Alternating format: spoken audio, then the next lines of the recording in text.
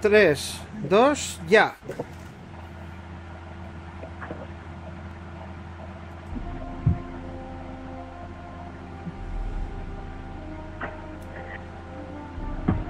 Buenas noches, mis intrépidos exploradores de la mente. Hoy, como cada jueves, soñaremos con tierras muy lejanas, a universos de distancia. Viajaremos a un tiempo pasado, remoto, antes de Pucia. Nos adentraremos de lleno en la aventura. Preparaos.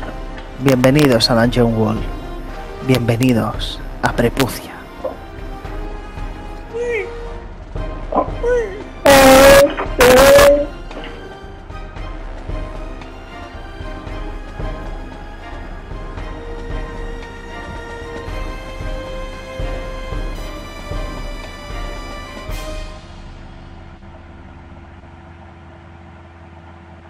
Y rápidamente vemos un cielo, un cielo negro, eh, en una fina llovizna que cae con, con ciertos relámpagos aquí y allá.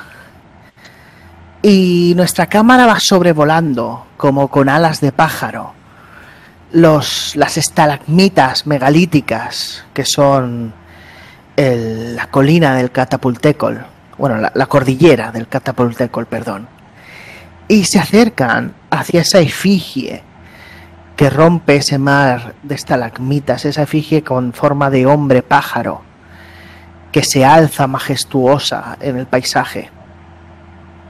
Se acerca y se cuela por la nariz del hombre pájaro y vuela por dentro de una sala, no una sala que está en penumbra, y se ve una figura esquelética, con alas, con una gran lengua, que mira hacia adentro de una pequeña sala circular, donde desemboca la sala donde está. En esa sala, en esa sala circular, que ya hemos visto en otras partidas, pero ahora ya no está llena de huesos. En el suelo vemos a Nebular, nuestra Nebular, y nos acercamos a ella. No sabemos si duerme, si está inconsciente, pero está ahí relativamente plácida. Y de repente abre los ojos. Explícanos, Nebular. Pues no, no estaba durmiendo, estaba, estaba sintiendo a los espíritus que hay dentro del templo, porque tengo la, aquel movimiento del, del comunión de susurros, pues aprovechando que estoy allí sola y todavía no me han venido a rescatar, pues aprovecho. Y así poder enterarme de, de lo que va a pasar ahí o de lo que están organizando. Explícanos qué es esto de la comunión de susurros. Pues si, estoy suficiente tiempo en un lugar, sintiendo a los espíritus que viven en él, pues puedo, puedo preguntarles, puedo, me dan opción a tener una visión de, sobre lo que va a pasar. Ajá, ¿y, y qué clase de espíritus has estado sintonizando eh, ahora que estás dentro del, del templo del dios pájaro? Pues he sintonizado con los espíritus de la piedra, porque todo el templo es piedra. Y explícanos. ¿Quién, ¿Con quién has conseguido comunicar de esos espíritus de la piedra dentro del templo del dios pájaro?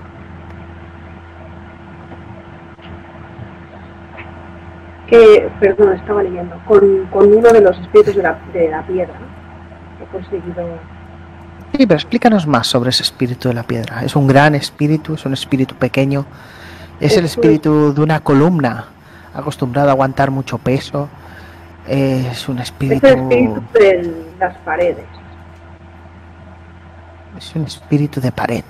Es un espíritu de pared. Son las paredes que, su- que sujetan el, el templo y que están acostumbradas a que a que la gente cuando entra las, las toque, a que las hagan más grandes, a que hagan agujeros en ellas, para adaptar el interior a las personas que entran.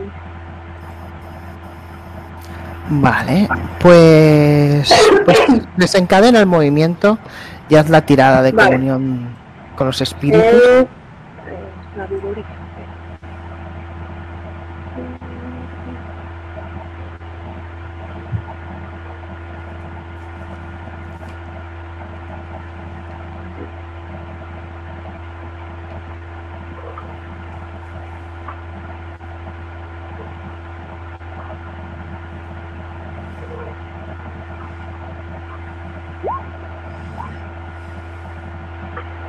He tirado. Has tirado un 8. Pero no sé si lo he hecho bien. Con Está bien. Entre 7 y 9 la visión es poco clara y su significado turbio. ¿Qué querías conseguir con la visión? ¿Qué, qué clase de información? Hacia, ¿Dónde estabas proyectando tu pregunta? Pues hacia qué, qué iba a pasar, qué, por, qué necesito, por qué to- estoy yo ahí ahora. Y oigo las voces de fuera gritando de la gente, ¿qué, qué va a hacer? Pues ves un montón de, de flashbacks muy trepidantes de, de segundo, de medio segundo, donde se van juntando muchísimas criaturas, ¿no? Criaturas de- del pasado, quizás del futuro, criaturas del presente. Gente que ha estado en esa sala. ¿No? Y, y es todo como muy trepidante, muy mareante. ¿no? Co- Como, un montón de, de flashes, pa, pa, pa, pa, pa, pa, pa, pa, pa, pa, pa. Y ves, entre los flashes te parece ver algún hombre lagarto. También ves medianos. Ves, ves gente que, que no sabrías definir, ¿no? De, de qué cultura o qué raza pueden pertenecer. Y, y entre los flashes también ves a un, a un esqueleto de, de, de hueso, que es el esqueleto que te das cuenta que te está mirando desde la otra sala. Cómo, cómo entra con un fardo que podría ser una persona, cogiéndolo así con las dos manos, y, y lo deposita con, con cierta delicadeza.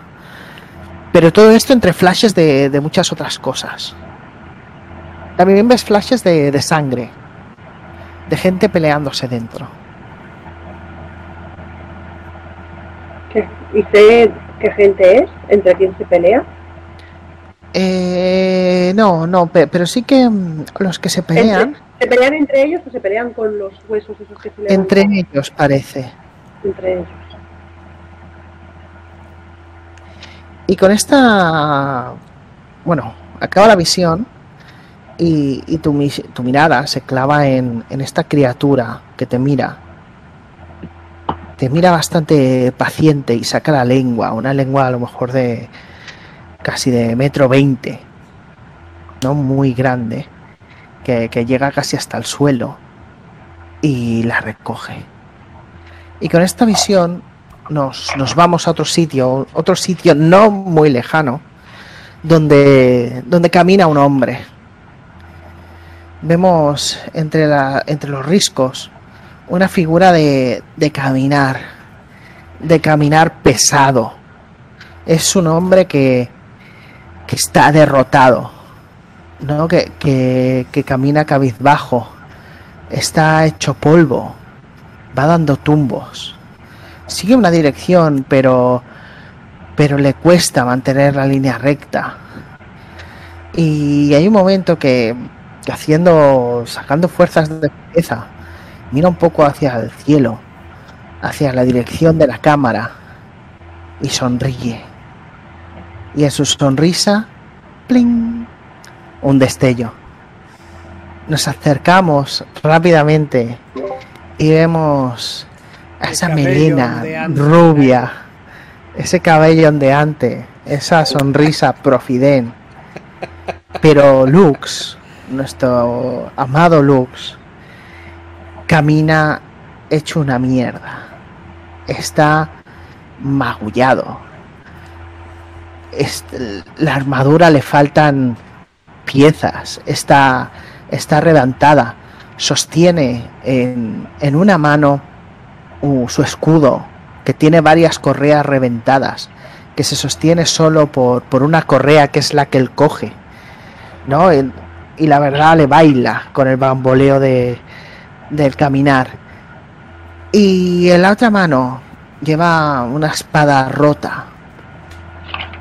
Una espada que, se rompió al principio de, de esta campaña.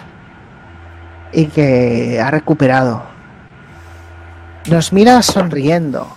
Porque Luke siempre sonríe. Pero, pero su sonrisa hay cierto tono de dolor. Lo ha pasado mal y nos acercamos, nos acercamos hasta, hasta sus ojos. Y el azul de sus ojos nos lleva hasta Basa Basa. No vemos Basa Basa por la mañana, es otro momento del día. ¿No? Y lo vemos, lo vemos otra vez todo pertrechado para la guerra, con un símbolo luminoso que, es totalmente, totalmente refulgente.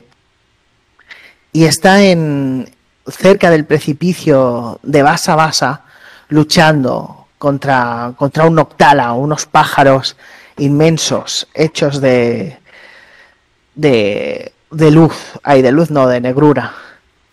Explícanos, Lux, ¿cómo luchas? Bueno, yo lucho con todo mi coraje y todo mi resplendor. Mi armadura habla de por mí, de por sí sola.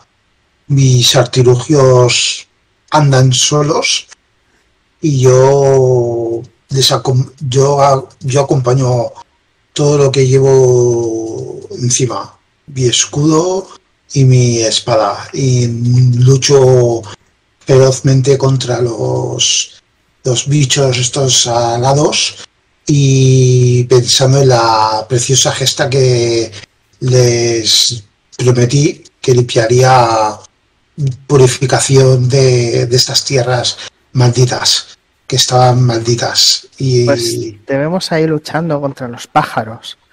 Y de repente ves, aparece en escena un, un hombre lagarto que está lanzando como un hechizo hacia los pájaros. Un hechizo que parece que, que lo repele.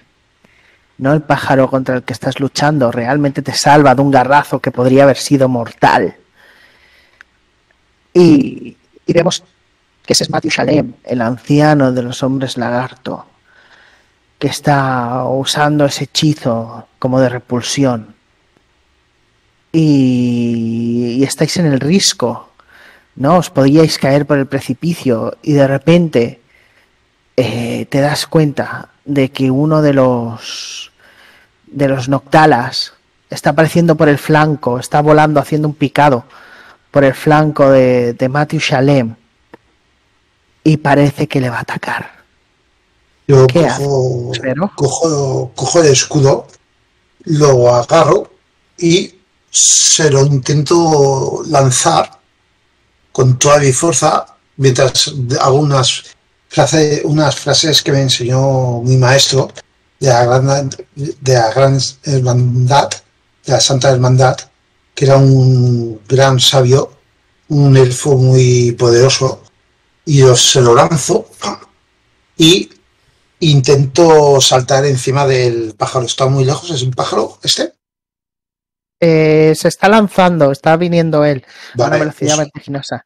pues un- Te, te voy a pedir una tirada de defender, Vale, que se llama Defend. ¿cómo? Defend. Defend. Vale. Ah, defend, ¿no? Sí. Vale, voy para allá. Ah.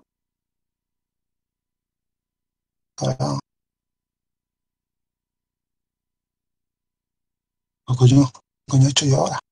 Vale, Cuatro. Perfecto. Pues intentas lo del escudo, pero ves que no surte efecto. y, y en el último momento decides lanzar la espada de Maxman para interceptar esta presa, ¿no? Que va a hacer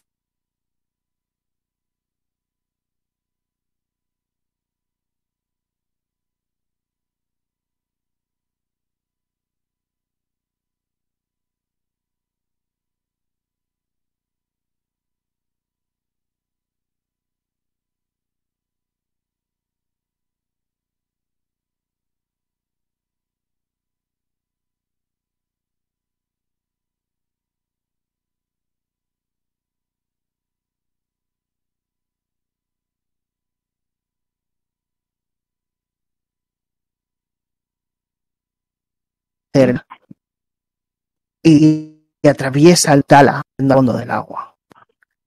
Matheus, el octal al que está viendo, ha tomado iniciativa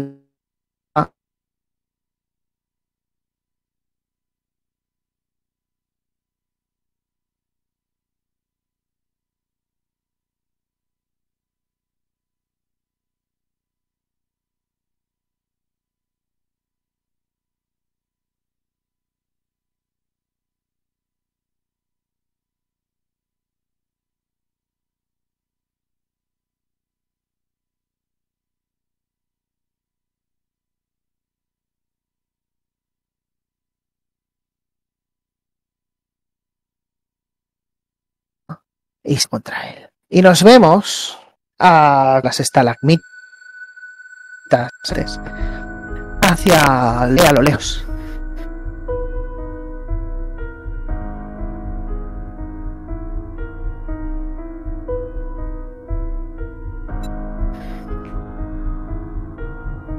Es la efigie del dios. Otro elfo que va acompañado de una pantera negra.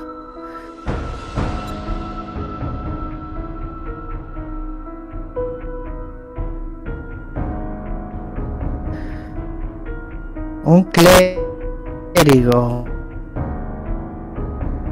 Oh, enano.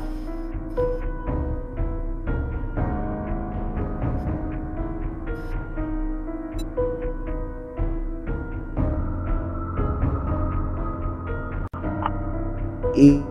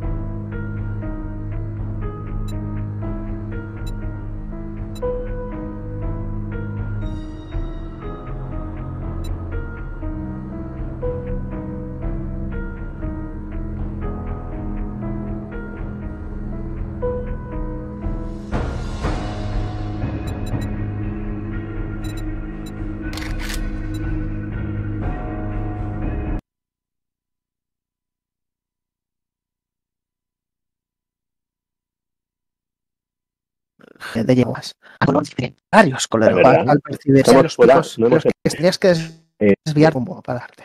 me- Una coseta antes de que Ah, continuemos. Eh, te acercas sin avisar a nadie, se ha percatado de que, de que es que, que arriba o ro- ropa, una ropa que le es familiar, una ropa de, de hechura chiquilicuatel, vestido, Sí. un vestido tú sabes de quién es. Tú sientas el risco, está un poco Restos de. Eh, barrabo, simplemente se ha caído por este lado. Mm, mm, mm, podría ser que lo hubiese tirado. Se nos han perdido los últimos cinco minutos de grabación por un problema técnico. Hola. Vaya mierda, esto no va.